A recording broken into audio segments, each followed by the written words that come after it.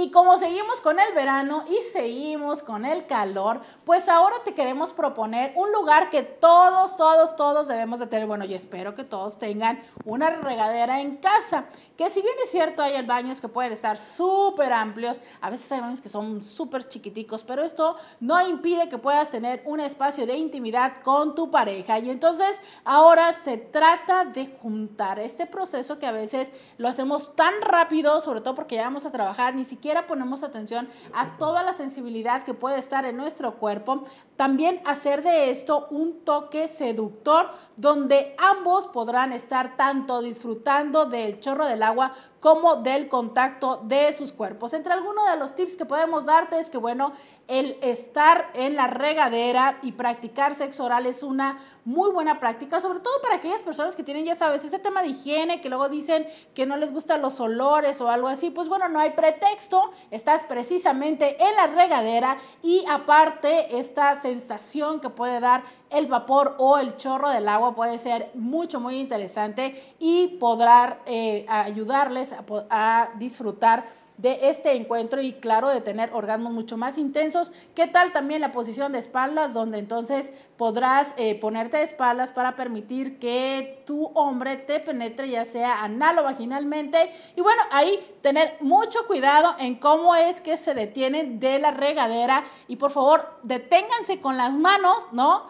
Este, no se vayan a detener con la cabeza, porque créanme lo que hay quien se le ha ocurrido detenerse con la cabeza y después termina con implicaciones, pues no solamente de dolor de cabeza, sino también de, la espalda y otras cosas, ¿no? Entonces, tener esa protección, asegurarse de que no estén en, en una superficie resbalosa donde se vayan a ir los dos y bueno, ya sabes, probablemente para evitar esto puedas meter un banquito, ¿no? A la regadera donde eh, alguno de los dos se puedan ir sentando y entonces el otro pueda estar sobre la pareja para poder eh, eh, disfrutar de la penetración. Y esas son solamente algunas de las formas que puedes practicar Claro que si tienes conciencia ecológica, pues bueno, podrás cerrar de vez en cuando la regadera. Lo importante es divertirte de otra manera y no hay pretextos. Todos tenemos regadera y también tendremos la obligación, al menos social y moral, de bañarnos una vez al día. Entonces, bueno, aprovecha este fin de semana, compártelo con tu pareja y disfruta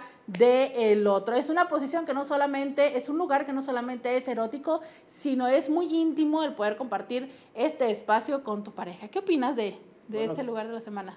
Creo que está muy bien y ahora sí que se conjunta el agua aquí, es el común denominador. Ya has dejado mucha tarea para, para el público, así es de que pues habrá que hacerla.